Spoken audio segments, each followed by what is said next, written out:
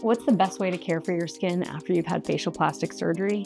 I'm Dr. Julia Krolis and I'm a facial plastic surgeon. And I would say the most important things would be nutrition and what goes into your body. So that's not only your food, but alcohol consumption, smoking, and vaping. All of those things have a tremendous impact on your skin. And if you've just had surgery, you really want to maintain those results over time. So um, that would be number one. The second thing would be sun exposure. Sun can cause photo aging, damage to the skin, and make people appear more aged.